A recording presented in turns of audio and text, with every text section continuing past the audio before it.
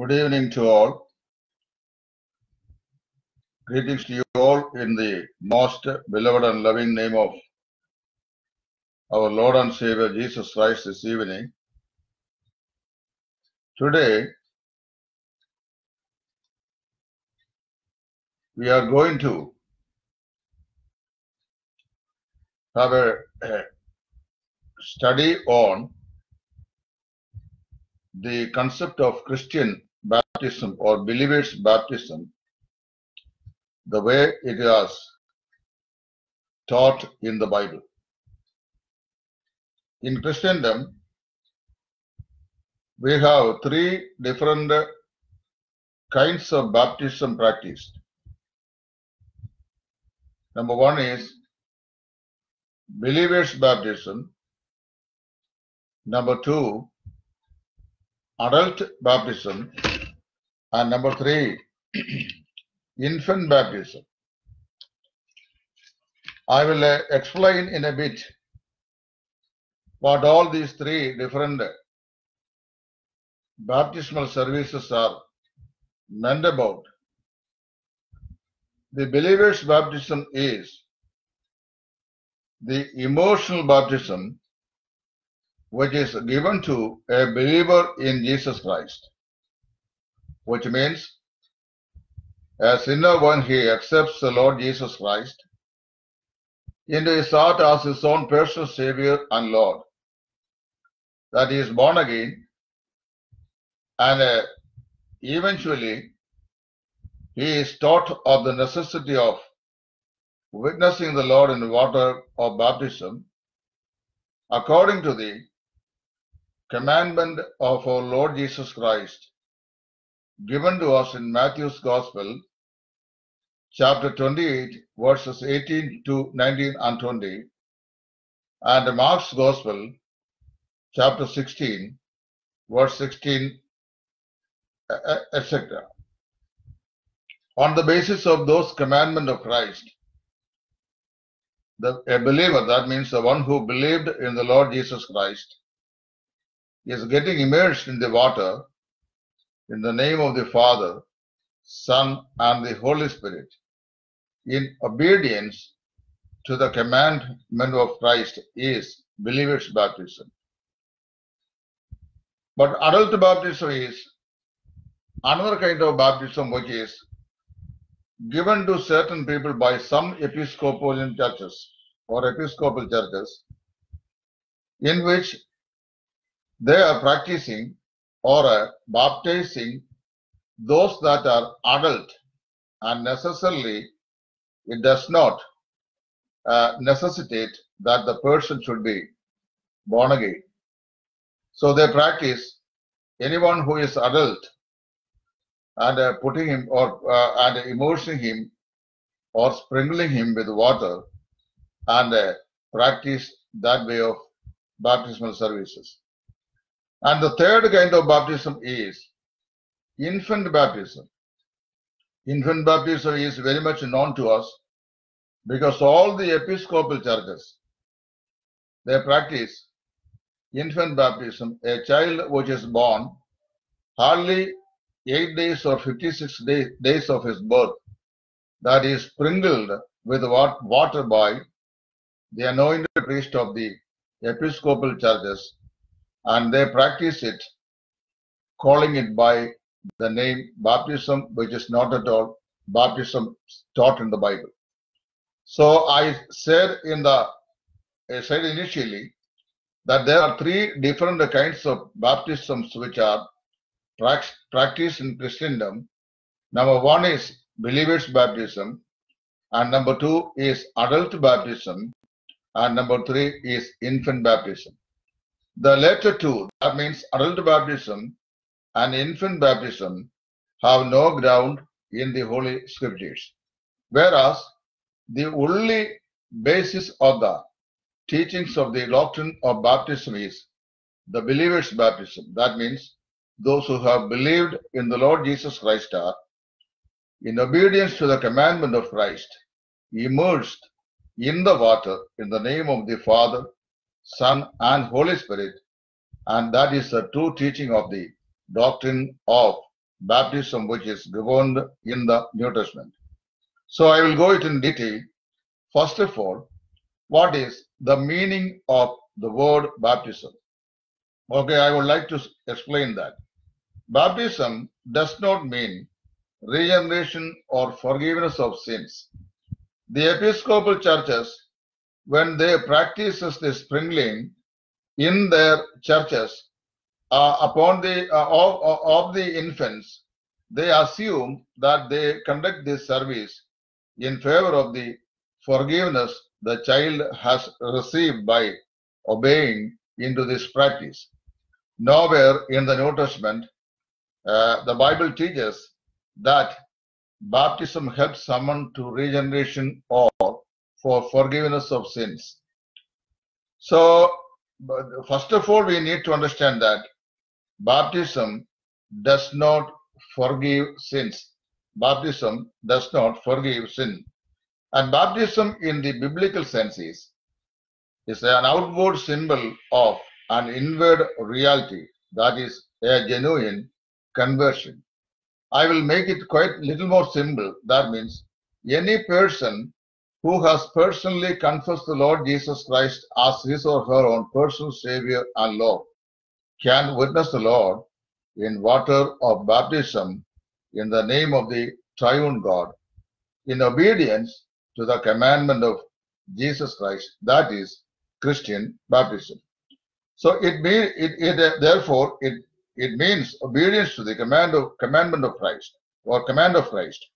Mark 16, 16 is obedience to the command of Christ. Mark 16, 16.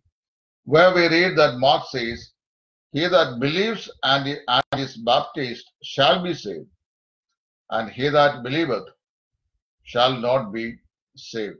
He that believes and baptized shall be saved, and he that does not believe is not saved.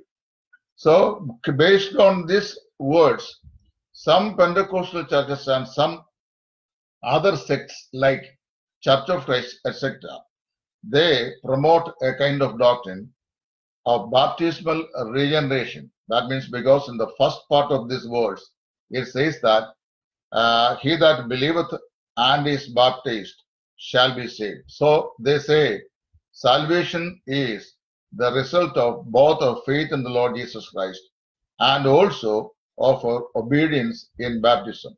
It is wrong because the second part of the word says that he that does not believe shall not be saved. It doesn't say that he that, he that does not baptize or does not take baptism uh, uh, shall, shall be condemned.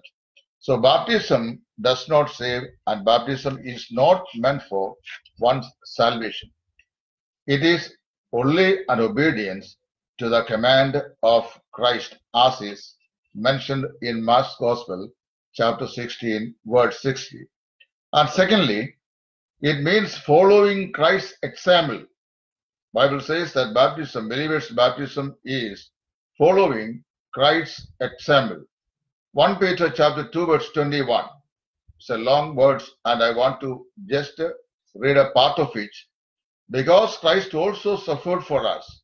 Peter says that because Christ also suffered for us, leaving us an example that he should follow his steps.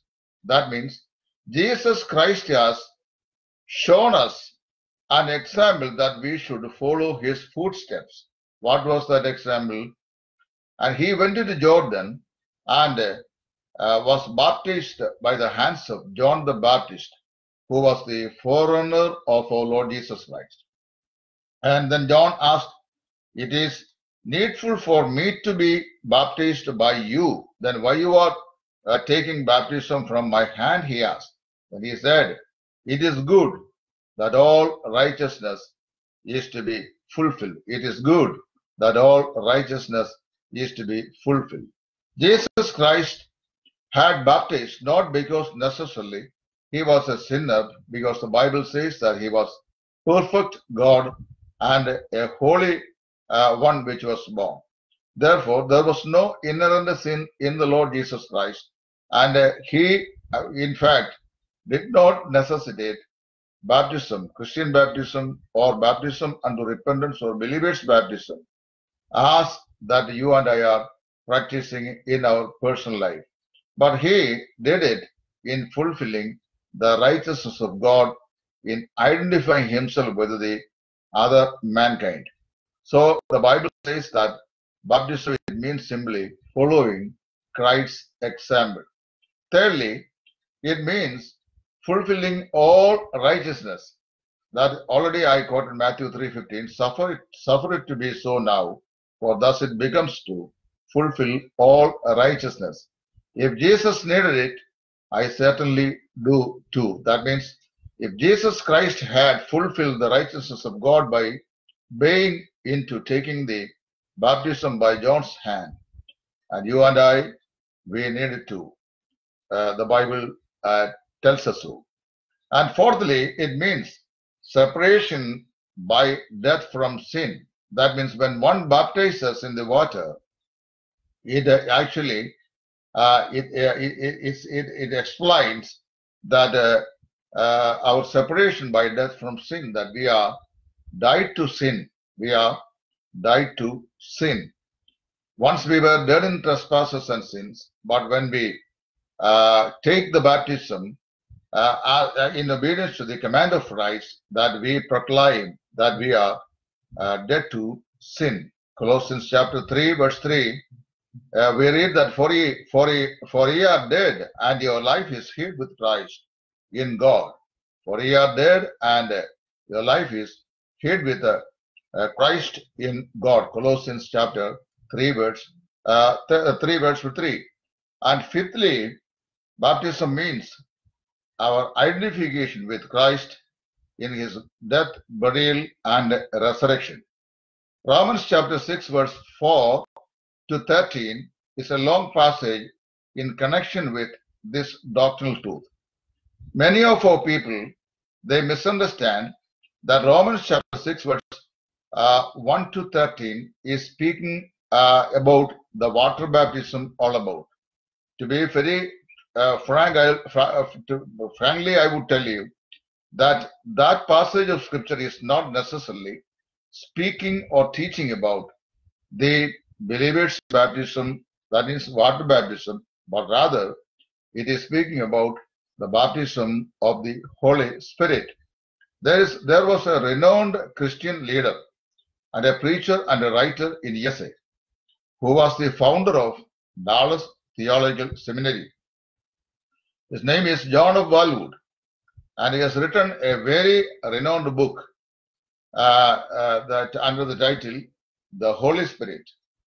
That book I have with my library, in which he says, No amount of water can add a believer to the mystic body of Jesus Christ.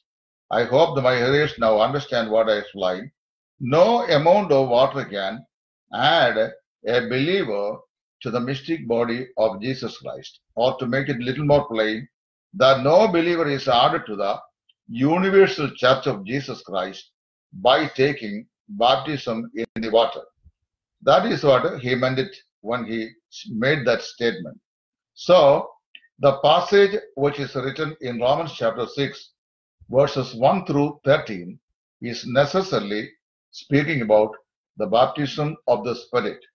According to 1 uh, Corinthians chapter 12, verse 13, that it was by the baptism of the Holy Spirit a born again believer was added to the mystic body of Jesus Christ, wherein the Jew and Gentiles are united to the body which is the church in oneness relationship.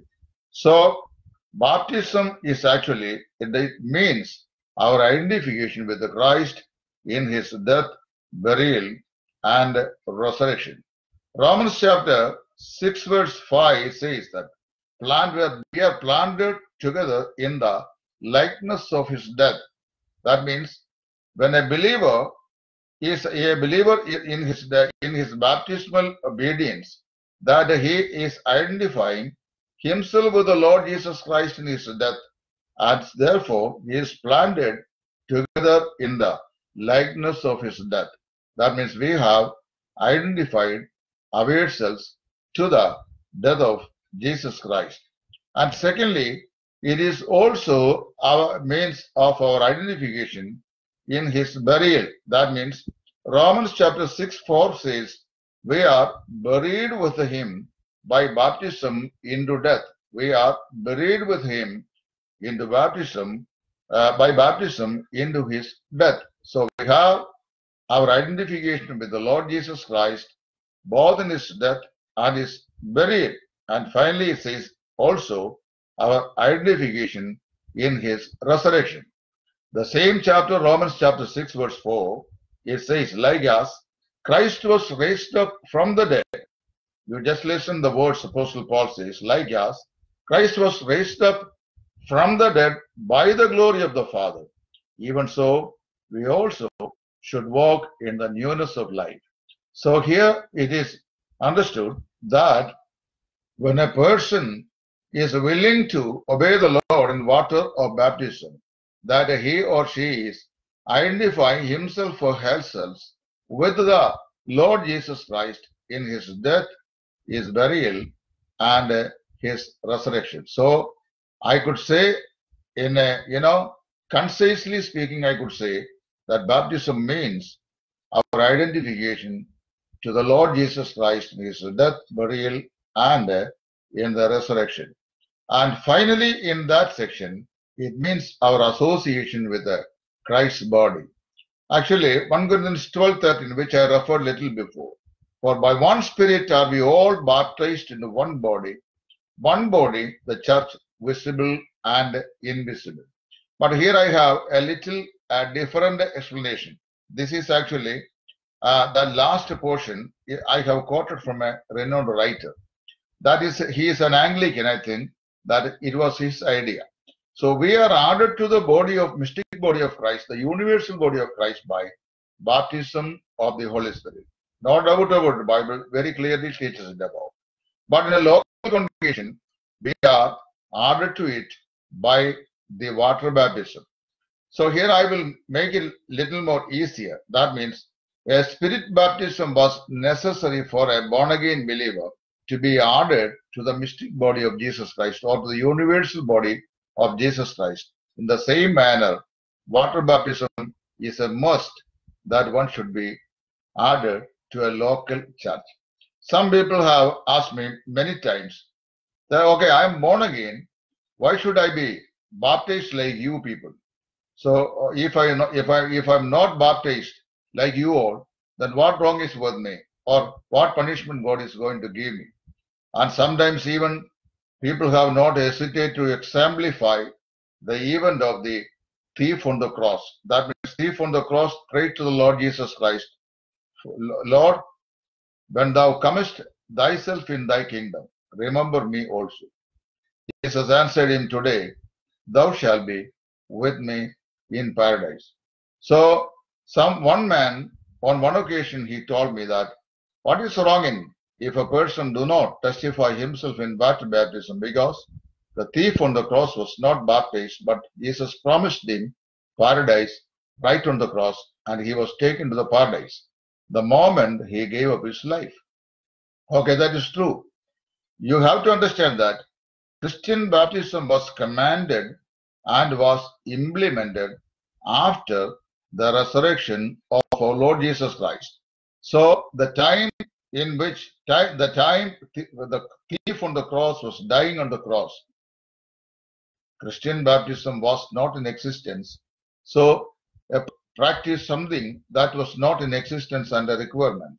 And secondly, it was it was not possible for the uh, thief on the cross, if at all, if there were the doctrine still persisting or existing, to be practiced in witnessing the Lord in water baptism, because we know that he was hanging on the cross and within no time that he was about to die. So these all are excuses people they speak about that they should not get themselves baptized in obedience to the command of our Lord Jesus Christ. And one more section I would take today's class in this relation. Who may be baptized? And in the first segment, I said that what is the meaning of baptism? I said it is it does not mean regeneration, and it means following Christ's example according to 1 Peter chapter 2 verse 21. And it means fulfilling all righteousness uh, which was exemplified by our Lord Jesus Christ when he took the baptism by uh, ba- the hands of John the Baptist. And fourthly, it means separation by death from sin. Uh, the verse is the evident verse is from Colossians chapter 3, verse 3. And uh, it all fifthly, it means our identification with the Lord Jesus Christ in his death, burial, and resurrection. And finally, it means our association with Christ's body, which is the mystic body, which is the universal church. So these are the six points which explains uh, necessarily or basically what is the meaning of baptism spoken about in the Bible. And here in the second part, I would also like to explain who may be baptized. Many times people are, uh, you know, they're confused about understanding uh, what is the the mandatory basis or essential basis for one to be baptized. Is it a child uh, be baptized in a congregation or an adult man or a believer as I have explained in the introduction. So I'll tell you here seven different points in relation to this that who may be baptized. In my personal observation and examinations, in the Holy Bible, at all places where the believer's baptism or the, the word baptism is mentioned, I have found out seven different aspects. Those aspects I would uh, now point out that my listening, uh, my listeners, for your kind understanding of this concept. First of all, those who have heard the gospel and believed it, they were baptized.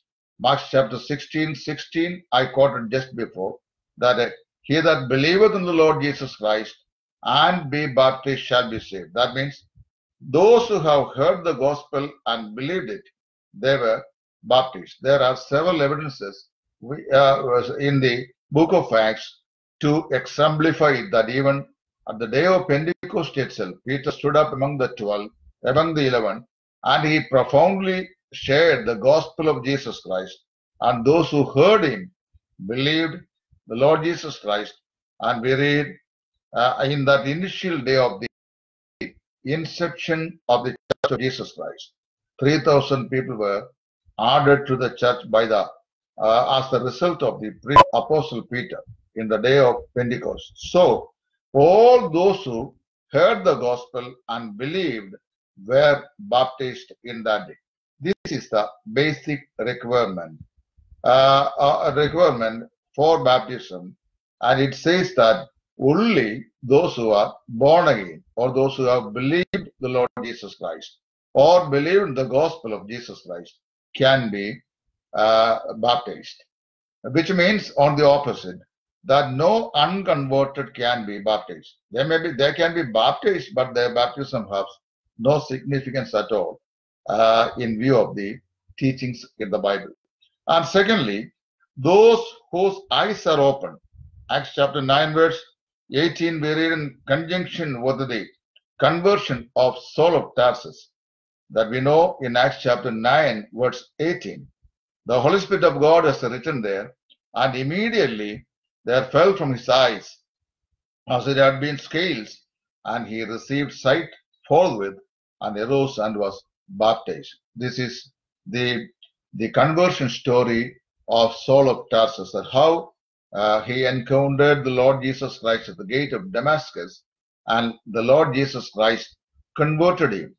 At the very sight, uh, hearing of the voice of God, and at the sight of the appearance of the risen Lord, Saul of Tarsus was uh, converted, and he immediately lost his personal sight, and he remained, uh, you know, visionless for three days. There was an ordinary Christian, ordinary Christian at that place whose name was Ananias. The Holy Spirit of God spoke to him, Arise and go to the place also the Holy Spirit of God shone to him where Saul was taking rest at. And he said, Go to the street called Straight. Go to the, go to the street called Straight. And where in the Simon's house, one man whose name is uh, Saul, he is a Saul of Tarsus, and he is sitting down there without vision, that without sight, go and place your, lay your hand upon his head and uh, pray for him that he might receive the sight. And certain objection were uh, promoted by Ananias because of the previous information that he have had about this man. This man, but uh, God, uh, God said him, "Go and lay your hand and pray for him that uh, he is a vessel whom which I have chosen. He is a chosen vessel for me. That means for the children of Israel and for the Gentiles that they should receive the light of the gospel." So that is the idea which I, understand from there. So here in Acts chapter 9, verse 18, now God, Jesus said, and immediately there fell from his eyes as if they had been scales, and he received sight forthwith and arose and was baptized. So that is so those who have opened up their eyes, which means those who have received the spiritual vision by trusting the Lord Jesus Christ, they can be baptized. And thirdly, those who have repented, Acts chapter 2, verse 38. Acts chapter 2, verse 38, this is the outcome of Peter's preaching in the day of Pentecost. Repent and be baptized, every one of you, in the name of Jesus.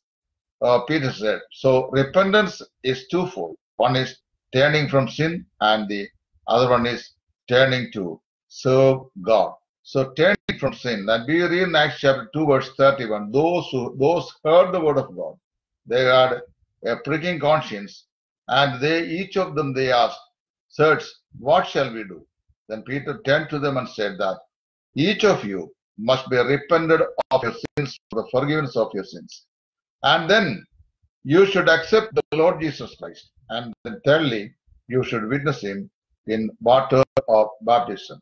And those that accepted him, that those who heard the gospel and accepted him, were baptized in that day and 3000 were added to the body of Jesus Christ. And fourthly, those who bring forth fruit worthy of repentance. That means people, those who bring forth uh, fruits worthy of repentance can be uh, baptized or they can testify the Lord in water of baptism. Luke chapter 3 verse 8 and Matthew 3 18 where uh, the John the Baptist reminded the people who came to him by saying that bring forth the fruit unto your repentance. That means the fruit of the repentance is always righteousness. So people can be understood or learned by whether they are really or genuinely born again by the fruit of their life. So it shows that whether they are really born again or repentant. So those who bring forth fruit worthy of repentance can be baptized. And fifthly, those who have received the Holy Spirit. Romans, uh, Holy, uh, Acts chapter 10, verse 47. This is actually happens in the house of Cornelius, a Gentile believer. Can any man forbid water? Peter was asking there, can any man forbid water? That they, they should not be baptized, which have received the Holy Ghost as well as we, as we, which means that Peter was saying the same manner that we received the Holy Spirit, these people also have now received the Holy Spirit. Therefore, no one can forbid water that they should be baptized. So we we read in that particular passage that Cornelius, his household, and the people whom he invited in his house, many were baptized in that day because they all received the Holy Spirit of God. In some Pentecostal churches are wrongly teaching this passage because they say receiving Jesus Christ is one thing, and a reception of the Holy Spirit of God is another thing. Now, it is not like that. The moment a person, several times I have explained this in my uh, classes on salvation, doctrine of salvation. In the previous lessons, I have taken it very carefully, and in a detail, detail I have taken it. So, uh, the moment a sinner confesses sin to the Lord Jesus Christ, and accepted him in his heart, what really happens is the triune God comes to dwell with his life. The, as God's, God, God's word promises us that the triune God gets in him or comes in him and begin to dwell with him. It is not the Lord Jesus Christ comes and the Father comes uh, secondly, then the Spirit is keeping himself away for some days until as these people claim that they received, received the unction of the Holy Spirit with the evidence of speaking in tongues. These all are wrong notions and uh, wrong understandings they have kept in their subconscious mind without having the proper understanding of the Word of God. So those who have received the Holy Spirit means the very moment a person hears the gospel and obeys the gospel and accepted the Lord Jesus Christ, the very time that he receives the Holy Spirit of God, also because in 1 Corinthians, Apostle Paul says that no man can confess the Lord Jesus Christ except for by, except by the help of the Holy Spirit of God. That means uh, the very confession, it is the Holy Spirit of God enables a person to con- confess the Lord Jesus Christ. When he confesses the Lord and accepted him, the Holy Spirit of God begins to dwell in his life and since that moment that he has the dwelling of the Holy Spirit of God. So, sixthly, those who have been taught the word of God, Matthew 28, 19 and 20, where we read the risen Lord Jesus Christ came to his disciples and said, and said, said them, All power is given unto me, both in heaven and on the earth. Then he said, Go ye unto the end of the world, preaching them the gospel, teaching them to observe all whatsoever the things I have commanded you, baptizing them in the name of the Lord Jesus, uh, na- name of the Father, Son, and Holy Spirit, and teaching them to observe whatsoever the things I have commanded them to do so. I shall be with you always, even unto the end of the age. So here Jesus said that, Go ye unto the end of the world, preaching them the gospel, and baptizes them, baptize them in the name of the Father, Son, and the Holy Spirit. And they teach them all things that whatsoever Jesus Christ has commanded to uh, do so. So then he said, so Matthew 28 9, so the disciples, that means those who have been, have learned the word of God and the necessity of baptism, they have to witness the Lord in water of baptism. Go ye therefore and teach all nations, baptizing them and teaching them to observe all things whatsoever I have, I have commanded you. And this would involve teaching the, all the New Testament doctrines. And finally, in this part, those who have died and who now live a new spiritual life in Christ can take baptism. That means uh, it is very clear from the word of God that those who have died to their sin, every man is born dead in trespasses and sin, but now when we trust the Lord Jesus Christ and accepted Him, what happens? A great transformation takes place in our lives. An inner trans- transformation happens. Second Corinthians chapter 5 verse 17, Paul says that if any man be in Christ Jesus, he is a new creation. Behold, all things are passed away and all things become new. So a great transformation took place in within his heart. He became a new man, though and then at the very moment he is died to sin. That means those who have died to sin, once those who were dead in trespasses and sins are now died to sin when he receives the Lord Jesus Christ. And such one, and who now live in a new spiritual life. That means when we died to sin, that we are risen in the newness of life. So we have put on the resurrection life of our Lord Jesus Christ. So what happened? Uh, the word of God says that those who died to sin and have the new spiritual life in Jesus Christ can witness the Lord in water baptism. This is the basic teachings of Romans chapter 6 verse 1 to 13 as I have precisely explained a few minutes before. So in today's class we have learned two sections. One is the meaning of Christian baptism. It is not regeneration. It means simply following Christ's example and it means fulfilling all the righteousness of God.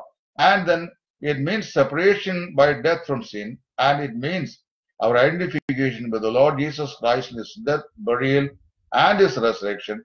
And finally, it means our association with Christ in his spiritual body, that is the universal church. And the second segment, I said, who may be baptized or who else are to be baptized? Number one, those who have heard the gospel of Jesus Christ can be baptized. Secondly, those whose inner eyes which are opened by the gospel of Jesus Christ can take baptism. And thirdly, those who have repented can be baptized. And fourthly, those who bring forth the fruit unto repentance can be baptized, and fifthly, those who have received the Holy Spirit of God should take baptism, and sixthly, those who have been taught the word of God are, are to be baptized, and finally, those who have died to sin and have risen to the newness of uh, life in Jesus Christ can witness the Lord Jesus Christ in water of baptism. Here the time lapses now, and God willing, I'll be taking the second part of this study in the coming day as some people, especially from the English speaking world of our Malayali brethren, have specifically requested me to take this, uh, this uh, uh, class in English so that the children may be able to follow it. So in respect of the request that I have taken these classes now in English medium and God willing, I will continue to do it uh, till I have covered this subject. I think one more class can cover up this uh, doctrinal teaching, which is uh, given in its entirety in the Word of God, and that will benefit all those who listen to learn it. And may God bless you all. And here I may I give the conclusion that only those who are born again, genuinely born again, have to be uh, witness the Lord in water baptism, or simply if somebody just to fall in the water or to, immerse in the water doesn't make any sense in his life. It shall, it, it shall remain just a ritual uh, without doing any blessings or benefit to his personal life. So only those who are believed in the Lord Jesus Christ are to be baptized and the teachings of the Episcopal churches in this respect is not in turn with the word of God which are taught in the uh, Holy Bible. So this evening I pray to the Lord Jesus Christ that every hearers, those who have not practiced this believer's baptism, may be opened, opened up of their hearts and their inner uh, eyes to understand this clear teaching of the Word of God. The Holy Spirit, of, the Holy Spirit of God has given us through the through His Word in the Bible. So may God help you. And uh, uh, if any one individual who listened me this evening have not witnessed the Lord in believers' baptism, let it let this teaching prompt you to learn it further and to obey the command of our Lord Jesus Christ in submitting yourselves for immersion believers' baptism. May God's name be glorified. Thank you for joining with me this evening to, to this class. May God bless all of you in His service. Evangelist Titus from Idayambla. Thank you.